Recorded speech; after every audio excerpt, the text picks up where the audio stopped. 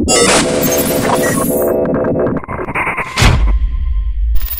ਹਾਂਜੀ ਸਤਿ ਸ਼੍ਰੀ ਅਕਾਲ ਦੋਸਤੋ ਸਭ ਤੋਂ ਪਹਿਲਾਂ ਤੁਹਾਡਾ ਦੇਸੀ ਤੜਕਾ ਵਿਰਸਾ ਟੀਵੀ ਦੇ ਵਾਚ ਪੰਜਾਬੀ ਦੇ ਵਿੱਚ ਬਹੁਤ-ਬਹੁਤ ਸਵਾਗਤ ਹੈ ਜੀ ਤੇ ਅੱਜ ਆਪਾਂ ਇਸ ਵੀਡੀਓ ਦੇ ਵਿੱਚ ਮਸ਼ਹੂਰ ਪੰਜਾਬੀ ਸਟਾਰ ਅਤੇ ਵੱਡੀ 뮤직 ਕੰਪਨੀ ਦੇਸੀ ਕਰੂ ਬਾਰੇ ਗੱਲਬਾਤ ਕਰਾਂਗੇ ਤੇ ਜਿਨ੍ਹਾਂ ਨੇ ਆਪਣੇ 뮤직 ਨਾਲ ਕਈ ਪੰਜਾਬੀ ਸਿੰਗਰਾਂ ਨੂੰ ਵੱਡਾ ਨਾਮ ਦੇ ਦਿੱਤਾ ਤੇ ਵੀਡੀਓ ਨੂੰ ਸ਼ੁਰੂ ਕਰਨ ਤੋਂ ਪਹਿਲਾਂ ਆਪਣੇ ਪਿਆਰੇ ਜਿਹੇ ਕਲਿੱਕ ਨਾਲ ਵੀਡੀਓ ਨੂੰ ਜਲਦੀ-ਜਲਦੀ ਲਾਈਕ ਕਰ ਦਿਓ ਕਿਉਂਕਿ ਤੁਹਾਡੇ ਅਸੀਂ ਲਾਈਕ ਨਾਲ ਹੀ ਮੋਟੀਵੇਟ ਹੁੰਦੇ ਆ ਤੇ ਨਾਮ ਹੈ ਸਤਪਾਲ ਤੇ ਗੋਲਡੀ ਕਿੱਦਾਂ ਪਈ ਇਹਨਾਂ ਦੀ ਗੂੜੀ ਯਾਰੀ ਦੋਸਤੀ ਦੋਸਤੋ ਤੁਹਾਨੂੰ ਦੱਸ ਦਈਏ ਸਤਪਾਲ ਸਿੰਘ ਨੂੰ ਸ਼ੁਰੂ ਤੋਂ ਹੀ 뮤직 ਦਾ ਬਹੁਤ ਜ਼ਿਆਦਾ ਸ਼ੌਂਕ ਸੀ ਤੇ ਆਪਣੇ 뮤직 ਕੈਰੀਅਰ ਨੂੰ ਅੱਗੇ ਵਧਾਉਣ ਦੇ ਲਈ ਸਤਪਾਲ ਸੁਖ ਦਰਸ਼ਨ ਸਟੂਡੀਓ ਜੋ ਕਿ ਖੰਨੇ ਦੇ ਵਿੱਚ ਸਥਿਤ ਹੈ ਉੱਥੇ 뮤직 ਸਿੱਖਦੇ ਸੀ ਤੇ ਨਾਲ ਦੀ ਨਾਲ ਗੋਲਡੀ ਕਾਲਾ ਨੂੰ ਵੀ ਗਾਇਕੀ ਅਤੇ 뮤직 ਦਾ ਬਹੁਤ ਜ਼ਿਆਦਾ ਸ਼ੌਂਕ ਸੀ ਪਰ ਗੋਲਡੀ ਦੇ ਘਰ ਦੇ ਨਹੀਂ ਸੀ ਚਾਹੁੰਦੇ ਕਿ ਗੋਲਡੀ ਇਸ ਲਾਈਨ ਦੇ ਵਿੱਚ ਆਪਣਾ ਕੈਰੀਅਰ ਬਰਕਰਾਰ ਕਰੇ ਤੇ ਉਹਨਾਂ ਦੇ ਘਰ ਦੇ ਇਹੀ ਚਾਹੁੰਦੇ ਸੀ ਕਿ ਗੋਲਡੀ ਪੜ੍ਹ ਲਿਖ ਕੇ ਕਿਤੇ ਚੰਗੀ ਨੌਕਰੀ ਲੱਗ ਸਕੇ ਤੇ ਘਰਦਿਆਂ ਨੂੰ ਖੁਸ਼ ਰੱਖਣ ਵਾਸਤੇ ਗੋਲਡੀ ਕਾਲੋਂ ਪ੍ਰਾਈਵੇਟ ਮਾਰਕੀਟਿੰਗ ਦੀ ਜੌਬ ਕਰਦੇ ਸੀ ਪਰ ਦੋਸਤੋ ਗੋਲਡੀ ਕਾਲੇ ਨੂੰ ਗਾਇਕੀ ਦਾ ਕੀੜਾ ਆਪਣੀ ਜੌਬ ਦੇ ਵਿੱਚ ਧਿਆਨ ਨਹੀਂ ਸੀ ਲਾਉਣ ਦੇ ਰਿਹਾ ਗੋਲਡੀ ਕਾਲੋਂ ਆਪਣੀ ਜੌਬ ਦੇ ਨਾਲ ਨਾਲ ਆਪਣੀ ਗਾਇਕੀ ਤੇ 뮤직 ਕੈਰੀਅਰ ਨੂੰ ਬਰਕਰਾਰ ਰੱਖਣ ਦੇ ਲਈ ਸੁਖਦਰਸ਼ਨ ਸਟੂਡੀਓ ਦੇ ਵਿੱਚ ਅਕਸਰ ਜਾਂਦੇ ਸੀ ਤੇ ਉਸੇ ਤਰ੍ਹਾਂ ਹੀ ਉਹਨਾਂ ਦੀ ਯਾਰੀ ਸਤਪਾਲ ਨਾਲ ਬਹੁਤ ਹੀ ਜ਼ਿਆਦਾ ਗੂੜੀ ਹੁੰਦੀ ਗਈ ਤੇ ਸਿੱਖਦੇ ਸਿਖਾਉਂਦੇ ਹੌਲੀ-ਹੌਲੀ ਸਤਪਾਲ ਅਤੇ ਗੋਲਡੀ ਕਾਲੋ ਨੇ ਫੈਸਲਾ ਕਰ ਲਿਆ ਕਿ ਗੋਲਡੀ ਕਾਲੋ ਤੇ ਸਤਪਾਲ ਆਪਣੀ ਖੁਦ ਦੀ 뮤직 ਕੰਪਨੀ ਲਾਂਚ ਕਰਨਗੇ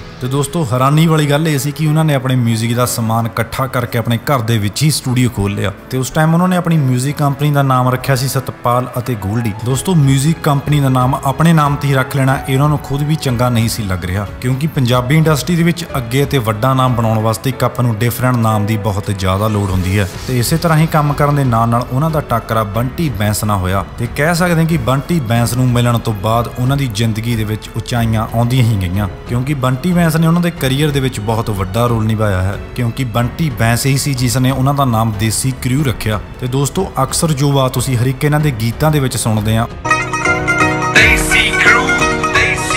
ਇਹ ਆਵਾਜ਼ ਇਹਨਾਂ ਨੇ ਇੱਕ ਨਾਮੀ ਰੈਪਰ ਤੋਂ ਰਿਕਾਰਡ ਕਰਵਾਈ ਸੀ ਤੇ ਇਸੇ ਤਰ੍ਹਾਂ ਹੀ ਬੰਟੀ ਬੈਂਸ ਨੇ ਇਹਨਾਂ ਨੂੰ ਪੰਜਾਬ ਦੇ ਵੱਡੇ ਸਤਾਰਿਆਂ ਨਾਲ ਕੰਮ ਕਰਨ ਦਾ ਮੌਕਾ ਦਿੱਤਾ ਤੇ ਕੰਮ ਵੀ ਦੋਸਤੋ ਇਹਨਾਂ ਨੇ ਅਜਿਹਾ ਕੀਤਾ ਕਿ ਅੱਜ ਪੰਜਾਬ ਦੇ ਹਰ ਇੱਕ ਕੋਨੇ ਦੇ ਵਿੱਚ ਅੱਜ ਦੇਸੀ ਕਰੂ ਨੂੰ ਹਰ ਇੱਕ ਕੋਈ ਜਾਣਦਾ ਹੈ। ਤੇ ਦੋਸਤੋ ਅਸੀਂ ਜਾਂਦੇ ਜਾਂਦੇ ਪ੍ਰਮਾਤਮਾ ਅੱਗੇ ਇਹੀ ਦੁਆ ਕਰਦੇ ਹਾਂ ਕਿ ਰੱਬ ਇਹਨਾਂ ਦੀ ਯਾਰੀ ਦੋਸਤੀ ਨੂੰ ਇਦਾਂ ਹੀ ਬਣਾਈ ਰੱਖੇ ਤੇ ਇਸੇ ਤਰ੍ਹਾਂ ਹੀ ਪੰਜਾਬੀ ਇੰਡਸਟਰੀ ਨੂੰ ਆਪਣੇ ਸੋਹਣੇ ਸੋਹਣੇ ਗੀਤਾਂ ਨਾਲ ਐਂਟਰਟੇਨ ਕਰਦੇ ਰਹਿਣ। ਤੇ ਜਾਂਦੇ ਜਾਂਦੇ ਜਿਹੜੇ ਦਰਸ਼ਕ ਵੀਰਾਂ ਨੂੰ ਵੀਡੀਓ ਵਧੀਆ ਲੱਗੀ ਲਾਈਕ ਅਤੇ ਕਮੈਂਟ ਕਰਕੇ ਆਪਣੇ ਵਿਚਾਰ ਜ਼ਰੂਰ ਦੇਣਾ। ਤੇ ਜਿਨ੍ਹਾਂ ਨੇ ਸਾਡਾ ਦੇਸੀ ਤੜਕਾ ਚੈਨਲ ਹਜੇ ਤੱਕ ਸਬਸਕ੍ਰਾਈਬ ਨਹੀਂ ਕੀਤਾ ਤਾਂ ਅੱਜ ਹੀ ਸਬਸਕ੍ਰਾਈਬ ਕਰ ਲਓ ਤਾਂ ਜੋ ਤੁਹਾਨੂੰ ਇੰਡਸਟਰੀ ਦੀ ਖਬਰ ਮਿਲ ਸਕੇ। ਸਭ ਤੋਂ ਪਹਿਲਾਂ ਧੰਨਵਾਦ।